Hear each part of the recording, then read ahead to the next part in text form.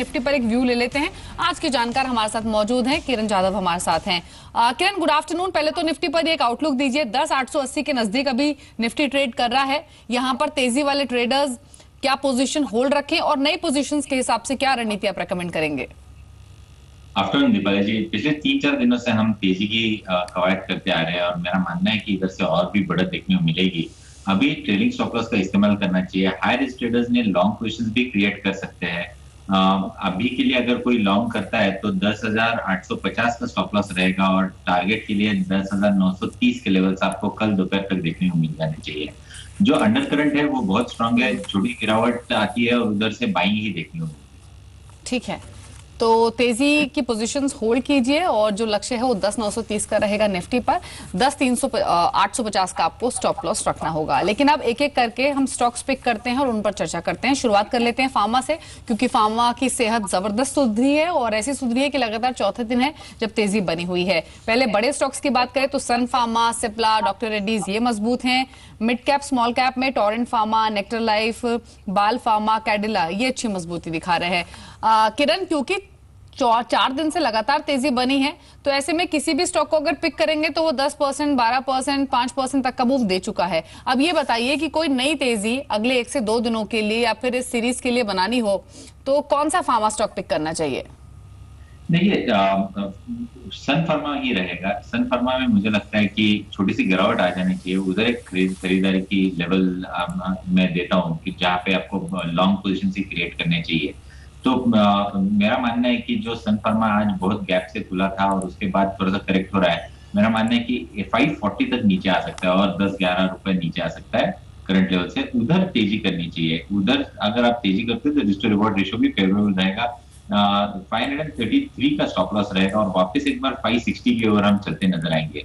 दूसरा काउंटर जो बहुत खास देखने को मिल रहा है वो है लुपिन लुपिन में भी मुझे लगता है कि छोटी सी गिरावट पे ही खरीदी करना चाहिए अभी के लिए अवॉइड करना चाहिए, क्योंकि 765 से 876 तक एक बहुत तो वर्टिकल रैली हमने देखी है।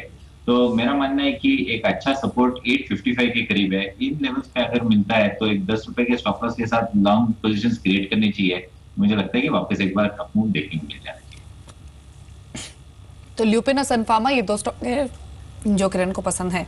लेकिन एक स्टॉक देखिए, वो है कैश का, और अभी दिन के ऊपरी स्तर ऊपर आ चुका है, वो है मुथूट कैपिटल। और मुझे याद है संदीप जैन, जो एक्सपर्ट हमारे शो में आते हैं, उनकी इन्वेस्टमेंट पिक भी है।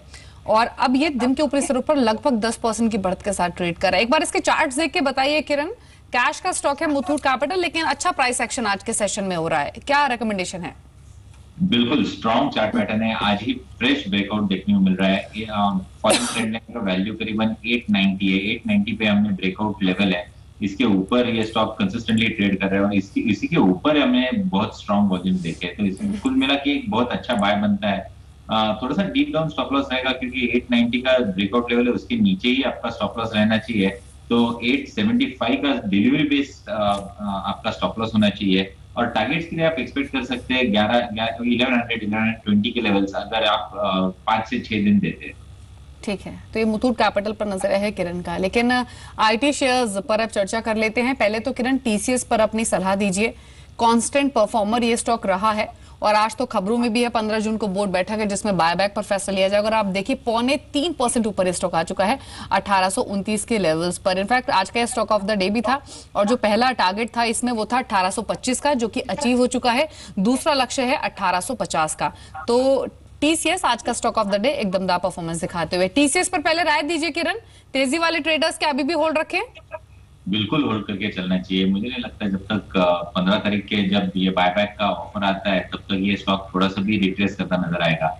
इसने 26 अप्रैल से जो कंसोलिडेशन किया है, उसका ब्रेकआउट आज देखने को मिल रहा है। स्ट्रॉन्ग वॉल्यूम्स है डेरिवेटिव डेटा प्रीटी स्ट्रॉन्ग है। तो मेरा मानना है कि इधर से अपसाइड ही देखने को मिल जानी चाहिए। मेरा मानना है कि 1870 के टारगेट्स आपको कल कल तक देखने को मिल जाने चाहिए। तो 1870 के टारगेट्स कल तक देखने को मिल सकते हैं टीसीएस में। ये सलाह है किरण की इस स्टॉक पर। एक इन्फोसिस पर भी अपनी राय दीजिए। आईटी एक तो फ्लेवर में है दूसरा कल इन्फोसिस के लिए दिन बहुत खास है। कल इन्फोसिस के 25 साल पूरे हो रहे हैं लिस्टिंग को और आप देखिए अट्ठा अभी जो लेवल है इन्फोसिस का वो बारह का है। ये इन्फोसिस आपको कैसा लग रहा है अभी?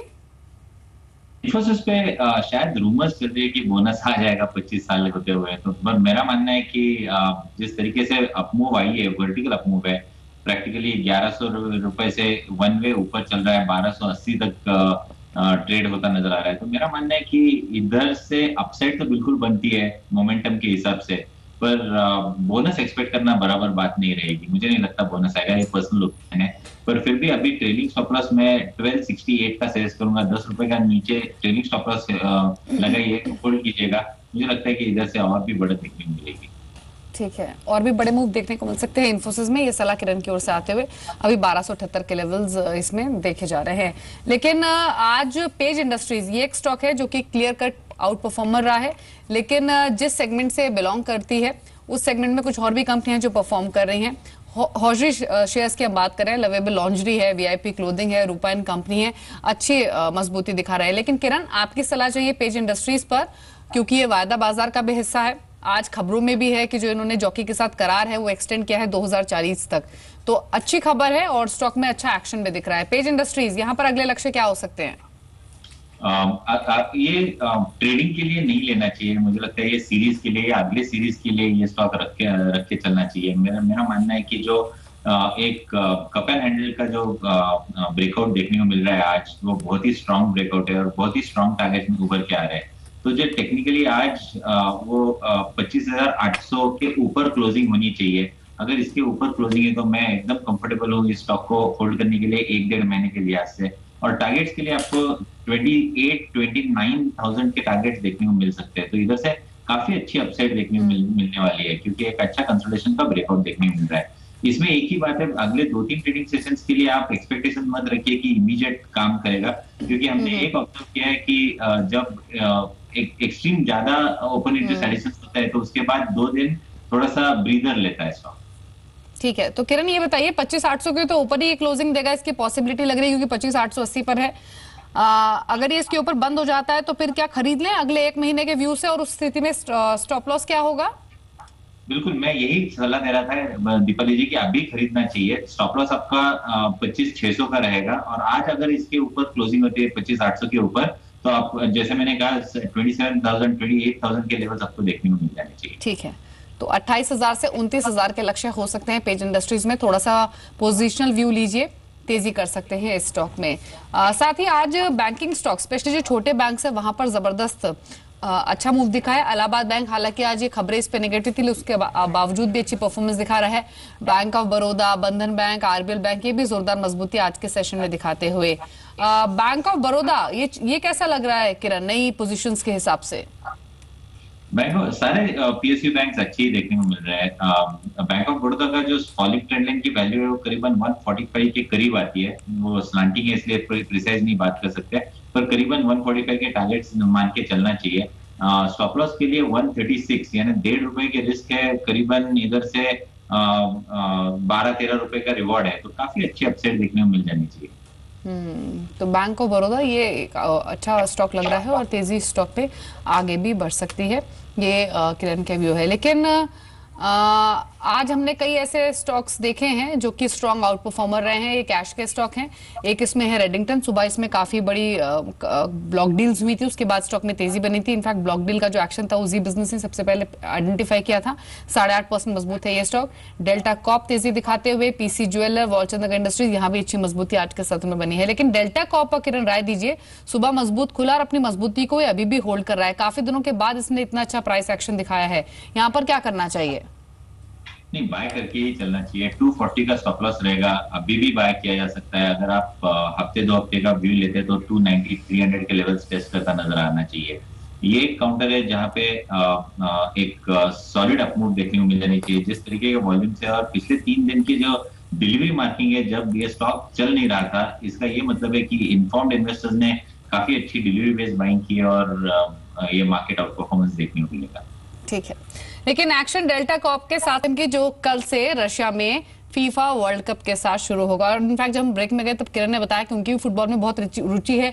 और किरण आप तो महाराष्ट्र टीम के फुटबॉल प्लेयर भी रहे हैं। क्या ये सही है? हाँ बिल्कुल। 92 94 दो साल में महाराष्ट्र के लिए खेल चुका हूँ फुटबॉल तो आप तो फिर ये पूरा फीफा वर्ल्ड कप पूरा क्लोजली वॉच करने वाले हैं आई एम श्योर हाँ बिल्कुल हम हर शुक्रवार को और रविवार को हम सब शाम को खेलते हैं तो पूरी टीम जो हमारी टीम है वो पूरे मिल मिलके हम ये सब मैचेस देखने को मिल जाने वाले हैं। और सबसे अच्छी बात है कि ये सब मैचेस शाम को पाँच बजे के बाद है मार्केट खत्म होने के बाद ही चलने हाँ, वाली है। तो ये बहुत अच्छी बात है। हाँ ये ये अच्छी बात है। भारतीय समय अनुसार बाज़ार बंद होने के बाद ही ज़्यादातर मैचेस रशिया में खेले जाएँगे। तो फेवरेट टीम कौन सी है आपकी? जर्मनी। जर्मनी यानी लास्ट वर्ल्ड कप की विनर जर्मनी जिसको आप सपोर्ट कर रहे हैं। चलिए, ठीक है, आपके पिक्स भी पूछेंगे अभी, लेकिन किरण की एक राय लेते हैं। किरण जुबिलेंट लाइफ पर आपके कमेंट्स जुबिलेंट लाइफ काफ़ी स्ट्रॉन्ग चार्ट पैटर्न है और मेरा मानना है कि इधर से काफ़ी अच्छी अपसाइड देखने मिलेगी। ये जो करेक्शन चल रहा है, इसमें एक इम्पोर्टेंट रेजिस्टेंस 860 880 का है। ये एक बार निकल जाए, तब इसमें बहुत स्ट्रॉन्ग मोमेंटम आएगा। पर अभी भी बाय किया जा सकता है। स्टॉप लॉस रहेगा 700 का। डीप डाउन है, क्योंकि डिलीवरी बेस्ड है। पर मैं एग्रेसिव बायर 880 के ऊपर रहूँगा। ठीक है। चलिए, शुक्रिया किरण आपका इन स्टॉक्स पर अपना व्यू देने के लिए। ब्रेक के लिए रुक रहे हैं